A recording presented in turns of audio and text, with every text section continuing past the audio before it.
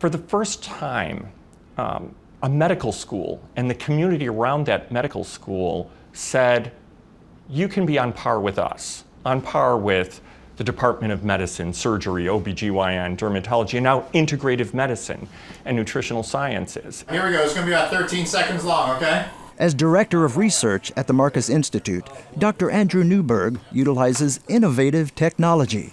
We have a very advanced imaging instrument called a PET MRI scanner that allows us to get both functional as well as structural images of a person's brain and body. It helps us to diagnose people. It helps us to understand better uh, the cause of their symptoms, the cause of their diseases, the physiology of what's going on, and how their body and their brain are responding to different treatments.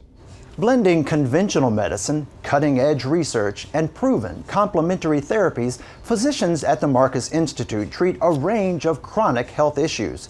Focused on prevention and improving patient outcomes, Marcus Institute physicians offer compassionate, individualized care to patients in the Philadelphia region and beyond.